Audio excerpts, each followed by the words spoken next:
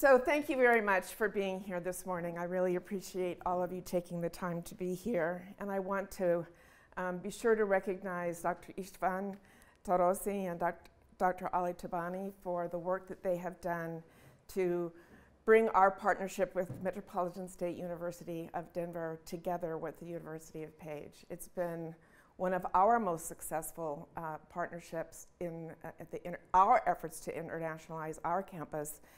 And uh, I, I want to be sure that all of you understand how much I think it's important, particularly for our American students, to have that experience because they tend to be kind of introspective rather than understanding how the world works. I also want you to know how deeply honored and humbled I am to, to be a part of this program today.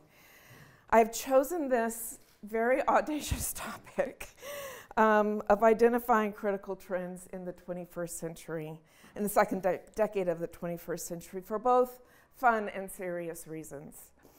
First of all, I think it's always interesting to speculate about the future. I will certainly be wrong about some things. Um, I will miss some things, and mostly I hope to be provocative. Um, but I think the most important thing I want to do for you today is to provide a snapshot of our world to impel you to become engaged in the world around you. And to that end, as I proceed, I'd like you to think about three questions throughout my talk. What do you care about? What, do you, what kind of world do you want your children, your grandchildren, your nieces, your nephews to inherit? And what are you willing to do about that to create that world that you want them to live in? See if I can get this right. There we go. It can be hard to grasp the enormity of 21st century issues that require our attention today immigration, hunger, health, environmental degradation, ethnic and religious diaspora, energy, terrorism, security, nuclear proliferation, trade, and finance. To be clear, I cannot cover every trend and every sub-trend in the next 30 seconds. 30 seconds, 30 minutes. Can't do it in 30 seconds either. so here's what we're going to talk about today. Complex interdependencies, changes in technology, global climate change, resource scarcity, and sadly, war. Combined, these amount to telling the story about the vast array of connections that create what I claim to be our irrevocably globalized societies, as well as threats to our very human existence. Ever the optimist, I do not believe a decimated future is necessarily in our future. We have the capacity to change our path.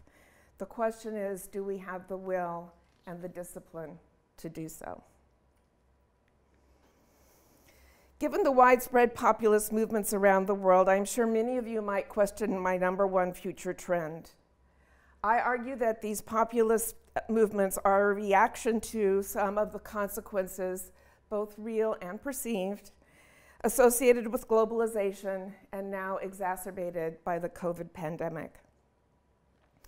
We live in an era of expanded and increasingly intense mutual dependencies among a growing number of state and non state actors, which make us vulnerable to each other's actions, if not sensitive to each other's needs.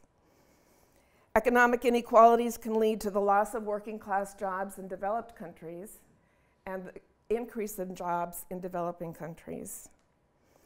Asymmetrical political positionality determines who gets what, when, and how. And culturally, a group of Stanford researchers points out that, quote, the rapid social changes that ha have produced high levels of immigration have also threatened national identities and caused older populations to feel they have lost status and influence. Nevertheless, I agree with the African novelist Cheikh Hamidou Kane's observation that, quote, Every hour that passes brings a supplement of ignition to the crucible in which the world is being fused. We have not had the same past, you, and ourselves. But we shall have the same future. The era of separate de- destinations has run its course. End quote. A dizzying number and array of actors matter in the world today. Once upon a time, nation states were the key global actors. However, non state actors, both formal and informal, are playing increasingly important roles in decision making these days. The Chicago Council on Global Affairs tells us that of the 100 largest economies in the world, seven are corporations, 41 are cities, and California, just one state in the 50 United States, is the fifth largest economy in the world. And of course, we have dozens of collective security organizations, the entire panoply of the United Nations organizations, commodity cartels, drug cartels, and so on. What legitimate concerns related to issues of identity, community, and governance arise when decision making powers shift to such non state actors? The number of issues on the global policy agenda has grown over time as well. Obviously, with every increase in the number of issues and every increase in the number of policy making, makers and stakeholders, uh, our decision making gets more complicated. Let's consider global finance. The 2008 global financial crisis re revealed significant weaknesses in the financial system and some of the vulnerabilities that can result from having such an interconnected world. For example, tax havens for corporations and the uber rich have deprived countries of revenues needed to build new, maintain, and repair old infrastructure. Fortunately, just this month, 136 nations agreed to back a 15% global minimum tax on corporations, along with other changes needed to crack down on such tax havens. Still, COVID 19 demonstrated that we have significant work ahead to make the financial system more resilient and able to withstand shocks in the market while reestablishing trust in governments and financial institutions. According to the World Economic Forum, in the decade following the seismic financial crisis of 2008, foreign direct investment fell by 37% to $1.1 trillion. By April of 2020, we had lost another $500 billion. And overall, in 2020, foreign direct investment fell by 42%. Blockchain technology has enabled fine, fintech co companies to replace international banks as sources of lending using cryptocurrencies. These are used by both legal and illegal actors for both good and ill ends. The total market value of all cryptocurrencies surpassed $2 trillion as of September 2021, a tenfold increase since early 2020. The number of cryptocurrencies out there in the world changes almost hourly, but as of the 11th of October of this year, there were 6,000 different cryptocurrencies out there. And globally, 220 million people now use cryptocurrencies. And we have the great opportunity to invest in non fungible tokens as investment instruments. This at a time when 73% of the world's population lacks access to a bank account, and 200 million small and medium si sized enterprises have no access to formal financial services. Globalization of trade is, of course, captured in the massive growth in imports and exports of consumer products. What is often forgotten is that so many products today automobiles, airplanes, appliances, computers, even books are assembled with parts from vast network of global suppliers. Those too, of course, constitute imports and exports. As we are witnessing today, manufacturers are especially susceptible to interruptions in the flow of goods because their products are global in nature and complex with many precision parts, and you can hardly put anything together with 95% of the parts needed.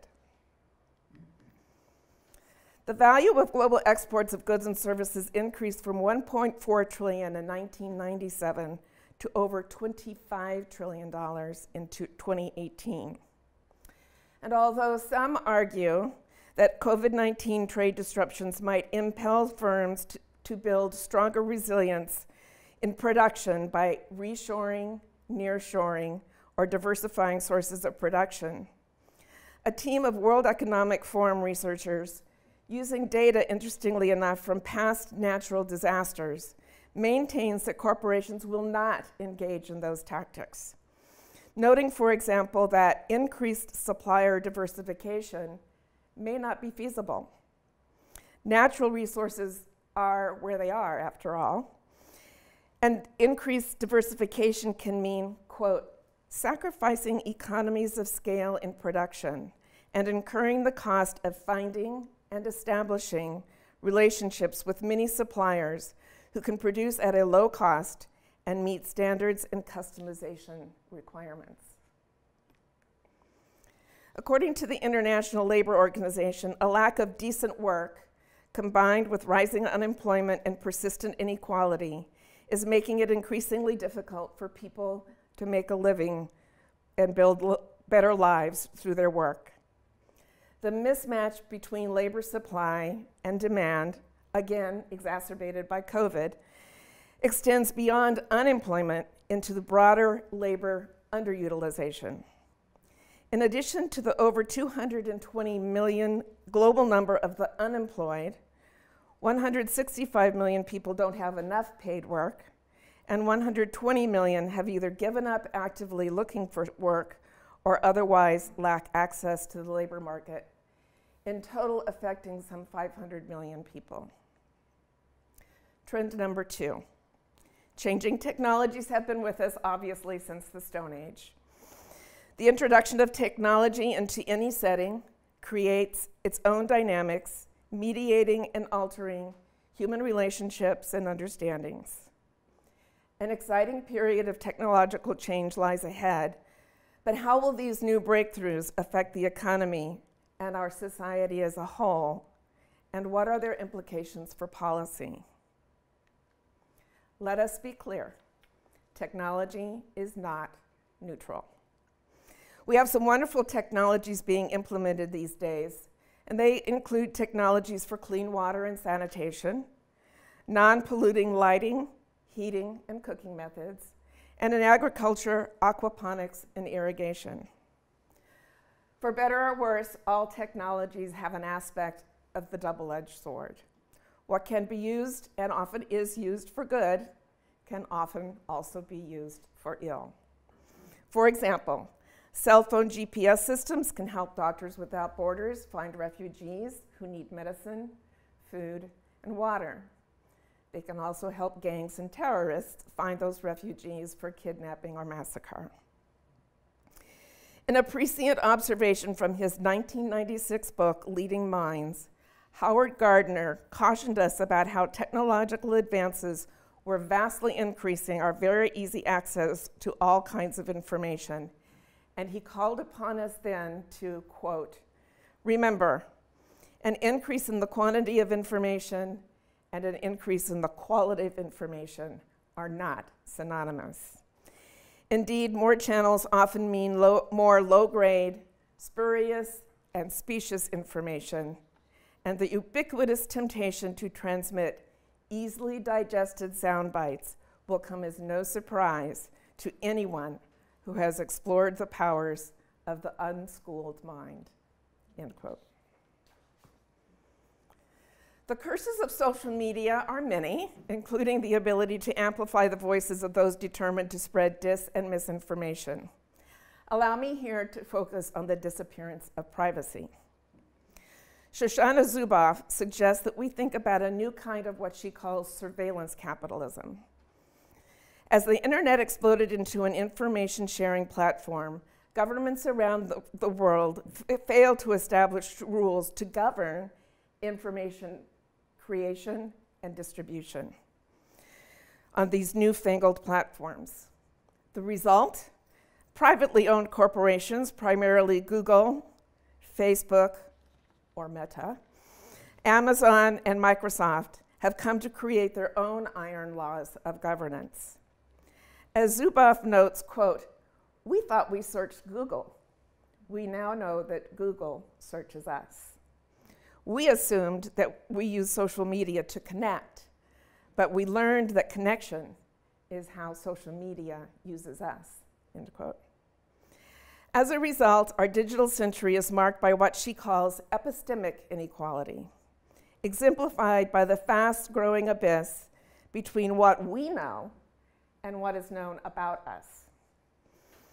Quote, it recalls a pre Gutenberg era of extreme asymmetries of knowledge and the power that accrues to such knowledge as the tech giant sees control of information and learning itself, end quote. Finally, she points out that, quote, surveillance capitalism's information dominance is not dedicated to the urgent challenges of carbon free energy, eliminating hunger, curing cancer, ridding the oceans of plastic, or flooding the world with well paid, smart, loving teachers and doctors. Rather, it is aimed at remotely tuning, hurting, and modifying human behavior in the direction of profitable outcomes and always engineered to preserve users, our ignorance, end quote. I recognize that the data in this slide is old. Nevertheless, despite the, the temporary increased costs resulting from COVID disruptions in transportation, I believe that Frances Cairncross was right when, when she predicted the death of distance in her 1997 book by the same title. The growing ease and speed of communication and transportation is creating a world where miles have little to do with our ability to work or interact with each other. Workers can code software in one part of the world and pass it to a company hundreds of miles away that will assemble that code for marketing. And as we educators have learned over the last 18 months or so, we can do business, we can teach, and research from the comfort of our own homes. Trend three global climate change. Global warming is expected to increase the Earth's temperature by 3 degrees Celsius by 2100, resulting in multiple adverse effects on the environment and human society, including extremes in weather incidents, widespread species loss, ecosystem damage, flooding of populated human settlements, and increase in natural disasters. The heat trapping nature of carbon dioxide and other gases was demonstrated long ago in the mid 19th century, and carbon dioxide has increased by well over 35% since then. Earth's temperatures are indisputably rising. The planet's average surface temperature has risen over 1 degree Celsius since the late 19th century and most of that warming occurred in the past 35 years, with, with the five warmest temperatures in the last taking place since 2010. We'll see what the Glasgow summit brings us. The World Health Organization's conservative estimates indicate that some quarter million people will die annually due to climate change induced undernutrition, diarrhea, heat stress, and other easily preventable conditions. And the direct damage cost to health is estimated to be between 2 and 4 US dollars, billion dollars a year by 2030. This is a picture from the New York Times in 2016 showing how farmers in India burn their fields to dispose of excess straw.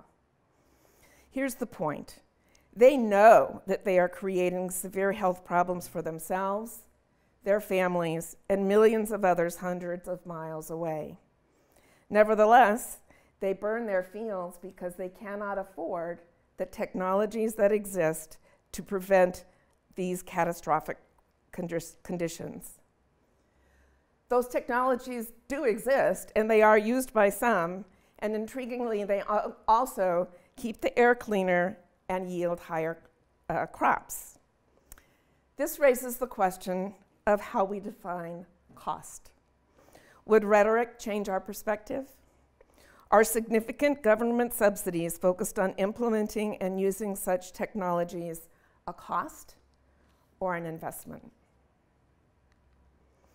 This is another picture from the same article, this one of New Delhi. While cl- global climate change is, of course, a global phenomenon, it has very local impacts, such as very nasty, nasty air pollution, that can profoundly affect one's health. Here we have a picture of the forest fires in Australia from 2019, which burned more than 40,000 square miles. According to an article by Tammy Weber of the Associated Press, as forests burn around the world, drinking water is jeopardized because fires are followed by rains, dumping a lot of water in a short period of time, which can quickly erode denuded slopes and wash huge volumes of ash, sediment, and debris into crucial waterways and reservoirs, making the water non potable. What is worrisome is that, quote, more than 60% of the water supply for the world's 100 largest cities originates in fire prone watersheds. End quote. Every second of the day, land the size of two football fields is lost forever in the world's rainforests, where logging, cattle ranching, mining, oil extraction, hydroelectric dams, and subsistence farming are the leading causes of habitat destruction. Indirectly, the leading threats to rainforest ecosystems are unbridled development and the voracious consumer appetites of industrialized nations. If deforestation continues at current rates, estimates, scientists estimate nearly all tropical rainforest ecosystems will be destroyed by the year 2030. It's a very upbeat presentation, yes. Meanwhile, the projected, the projected economic value of one hectare in the Peruvian Amazon is worth more than $7,000 per year if the, for, if the intact forest is sustainably harvested for fruits, latex, and timber. Only $1,000 per year if clear cut for commercial timber and a mere $150 if used for cattle, cattle ranching. Finally, glacier loss. This pair of images shows the continued retreat and thinning of the Alaskan and Muir Glacier in the second half of the 20th century. From 1941 to 2004, the front of the glacier moved back about seven miles while its thickness decreased by more than 2,600 feet, according to the National Snow and Ice Data Center. Meanwhile, 46 gigatons of ice from Alaskan glaciers was lost on average each year from 2003 to 2010, affecting access to clean drinking water and commercial fishing opportunities, among other things. Trend number four resource scarcity. As the world becomes more populous, urbanized, and prosperous, demand for food, energy, and water will rise. But the Earth has a finite amount of natural resources and is unable to support current models of production and consumption. A growing population, particularly in developing countries, excuse me, is, is expected to, to demand 35% more food by 2030. And the type of food increasingly demanded vegetable oils, dairy, meat, fish, and sugar will have a particularly high impact on energy and water. Demand for agriculturally related energy is expected to increase by 50%, and for water by 40, 40%. Currently, 785 million people lack even a basic drinking water service, including 144 million people who are dependent on surface water. Globally, at least 2 billion people use a drinking water source contaminated with feces, which can transmit deadly diseases such as diarrhea, cholera, dysentery, typhoid, and polio. In the least developed countries, 22% of healthcare facilities have no water service, 21% no sanitation service, and 22% no waste management service. Meanwhile, only 3% of the Earth's water is fresh water, and only a quarter of that is accessible from rivers, lakes, or the ground. As of 2015, the world had lost almost a third of arable land since 1974, in part due to drought and in part due to rising sea levels. Just two years ago, the expectation was that sea levels would rise by approximately one meter by 2100. The current prediction makes double that estimate look increasingly possible by the end of the century, at which time some 410 million people will be on the move as a result of the rising seawaters. Data from the World Bank suggests that by 2100, coastal flooding will affect countries all around the world. China is slated to see the largest number of people affected at 50 million, and the Netherlands the greatest percentage of its population at 47%. Finally, trend number five war. According to the SIPRI Yearbook 2021, we have 30, 39 active conflicts from civil war to terrorism today. And we have managed to kill three times more people in the last 100 years than we did in, in the previous 500 years. And 75% of those people have been civilians. According to the Uppsala Conflict Database and Global Terrorism Database, they note that the lar largest number of conflicts are non state in nature, with fewer than 10% being between nation states. At the end of 2020, 82.4 million people worldwide were forcibly displaced because of conflict, violence, or persecution, and about half of those are under 18. Anyone other than me in this room who remembers conversations about spending the peace dividend after 1989 fall of the wall, collapse of the Soviet Union. well, since then, according to SIPRI, the global spending on military has increased by more, well over, over $500 billion. In 2019 alone, global expenditures on the military equaled almost $2 trillion with, of course, the United States spending the most of that and accounting for 38% of that global spending. The prevalence of intrastate war remains mainly the result of an accumulation of protracted conflicts since the 1950s, rather than a sudden change associated with a new post Cold War international system.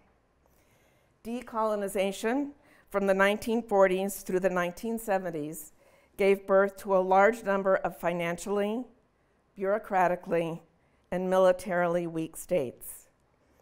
One intriguing theory proffered by Paul Collier and Anke Hoeffler posits that the causes for these civil wars are primarily economic in nature. The result of individuals believing that the economic gains from these conflicts will outweigh the costs by gaining control of resources and political power. Meanwhile, a medium sized developing country loses approximately 30 years of uh, GDP growth from a civil war, and it can take 20 years for trade levels to return to pre war levels. 2014 marks the peak in deaths from terrorism at some 32,000 people, and since then, such deaths have decreased by 59% to just about 14,000. In 2019, the Taliban earned the status of the deadliest terrorist group, and the economic impact of terrorism was over 26 billion US dollars. Terrorism, unlike interstate conflicts, are more, it's more closely associated with religious and ethnic ruptures than other deadly conflicts. Finally, we really do have weapons of mass destruction out there.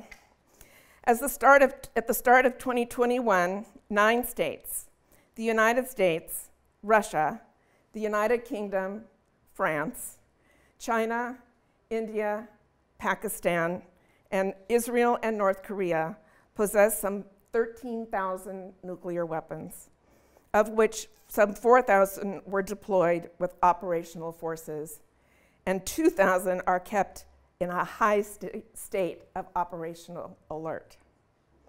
And some 20 countries have stockpiles of biological and chemical weapons such as ricin, nerve gas, anthrax, and salmonella.